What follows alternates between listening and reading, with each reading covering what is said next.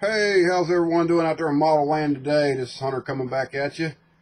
For all my metal fans out there, I'm rocking the King Diamond shirt today. Long live the diamond.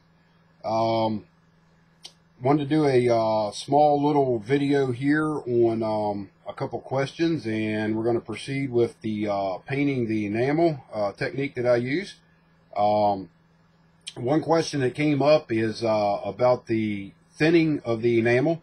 Um, yes, you can use an enamel thinner or mineral spirits, I guess, if you want to.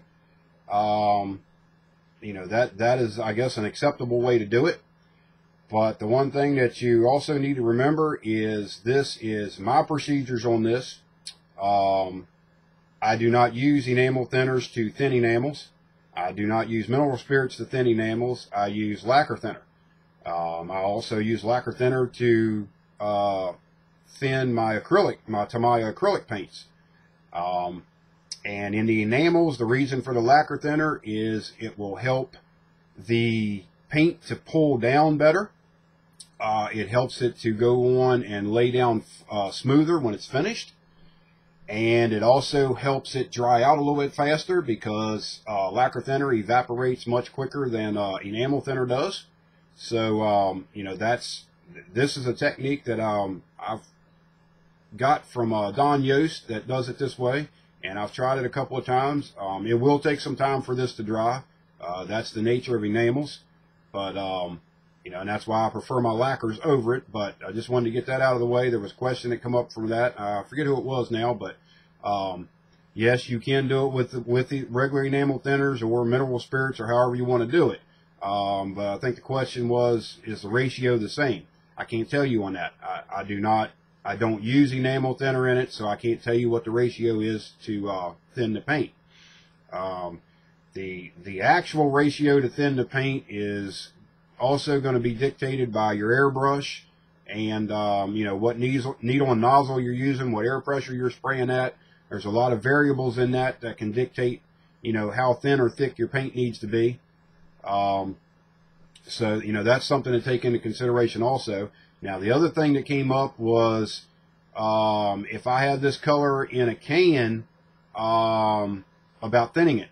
Uh, if it's in a can, you should not have to thin it at all. If you decant the enamel from the can and spray directly from, you know, if you decant it into your airbrush and spray it you should be fine with that. You should not have to cut that anymore. Uh, most airbrushes will accept uh, the the consistency of the paint that's in inside a can. Um, but that again does not apply to my technique that I'm showing here because that is basically just decanting enamel and spraying it onto the surface. Um, it's gonna it's gonna act like an enamel. It's gonna you know it's the same thing. It's gonna take longer for it to dry. It's not gonna pull down as well. So I just wanted to kind of touch on that to let everybody know that, you know, yes, there's other ways out there to do it. There's other ways out there that work. Uh, this just happens to be the way that I sit down and practiced it and the way that I can make my finishes come out. Um, you know, and it's just giving you another option out there. It, I'm not saying that you have to do it that way or that's the only way it can be done. Uh, you know, there's many different ways to do paint. Uh, but what you're looking for in the end is a smooth, nice shiny finish. Um, you know, and you can get that through spraying the paint that way and not have to wet sand and buff it, or you can spray the paint like I do and, you know, uh, make sure you get enough clear on the car and wet sand and buff all your finishes. Uh, that is what I do on every car. I mean, that's just my procedure. So, but anyway, getting back to the, uh, to the build that we're working on, I've got the little Jaguar here on the stand. And um, I did a step in this that uh, most of you wouldn't do at, at, the at this stage. I did this for a reason, and I told you I'd touch on why I done it. Um, this body was all white. This was this body was kit white when we started.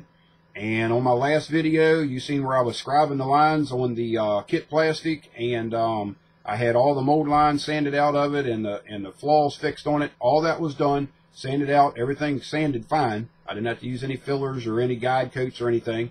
So everything looked pretty decent on that. Now, uh, this car, I'm not painting it the black that's in the in this picture. But where you see the black, that is going to be the color that we mixed up yesterday. Um, the teal that we mixed up, that's what that's going to be. And you can see down through the center of the hood, the roof, and onto the tail there, um, that white. Okay, that white is not a decal. The only thing that comes in a decal is those little uh, dark spears that you see um, within that white area. And the white, uh, there's like a tiger head or a lion head on the side of it. No, it's a jaguar. That's what it is. It's a jaguar head on the side of it. That makes sense. Um, that's a white decal. So what I chose to do with this thing is instead of painting this enamel, which is going to take about a week for it to dry out altogether, um, and then go back and tape off and spray again, um, to save myself any trouble as far as the taping process and stuff like that, what I have done is I took Tamiya um, flat white XF2. Uh, it's got a little bit of lacquer thinner in it. Not much. I cut it down so it sprays through my airbrush and lays down well. And when I got done with it, you know, this is this is the car with the Tamiya flat white sprayed over the entire car. No clear coats, no sealers, none of that kind of stuff. It's just Tamiya flat white cut with lacquer thinner and sprayed over the entire car. Light coat, nothing, nothing crazy. Um, reason for that is that now gives me my white uh, base for through the center here where I'm going to do the white graphic. And what I will do is the next step is I'm going to go in and I'm going to tape off this white area that's going to stay white because that's where my decals are going to go. And then everything else that we'll be spraying when you see it over in the booth when we do the next video is going to be putting the teal on everywhere um, except for this center band down through down through the center of the car here. So, um, like I say, but if you're following along just to do an enamel paint job, this would not be something that you do. This is just a procedure because uh, the acrylics um, you know, really pull down good with the lacquer thinner and they'll look real good and they dry almost instantly uh, with the lacquer thinner in them. I mean, this, I can basically wipe this off in 10 minutes and, um, you know, I, uh, tell you another little trick that I do with this. Whenever I do, um, the acrylic Tamiyas with lacquer thinner mixed in them and I spray the surface, I will take a little piece of my blue shop towel and I will fold that kind of like in a little square. And I got that folded up in a little square there. And I use that as a very light abrasive. Uh, somebody made a mention that paper towels are abrasive. Yes, they are. Uh, the reason why I do not use a regular paper towel on this is because paper towels tend to have a lot of lint on them, and these do not. Uh, and, and, that was just just dry. It's just a dry piece of uh, shop cloth. And you can go over this Tamiya paint that's been cut with the lacquer thinner. And I've already done this whole car, but I'm just showing you the technique. I'm just sliding it back and forth across the roof there. And uh, what that does is it actually takes any of the dryness and any of the um, the graininess that's in the paint, it will take that out. As long as you have a thin coat on this. If you got a real thick coat and it's got an orange peel to it, you're not going to get it out doing this and you don't want to sand it because sanding acrylics is not a good thing. Um, they just basically come right off the surface and, you know, you got to kind of start over. So, but, uh, like I say, if you're following along with, with the enamel painting process, the next video I'm going to do is going to be where you want to pick up from after the video on when we mixed up the uh, teal and with the lacquer thinner and then I added that little bit of uh, my custom touch to this and we put it into this bottle. I'm going to put this directly into the airbrush after this is taped off, and we're going to start spraying the enamel on top of this uh, white acrylic that's down here.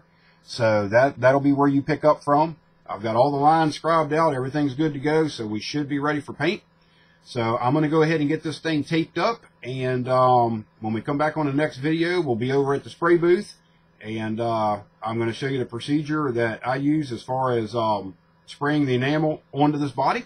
So stay tuned for that. That'll be coming up here real soon. Um, so if you got any questions or concerns, just leave me a message on the video. I'll be more than glad to get back to you.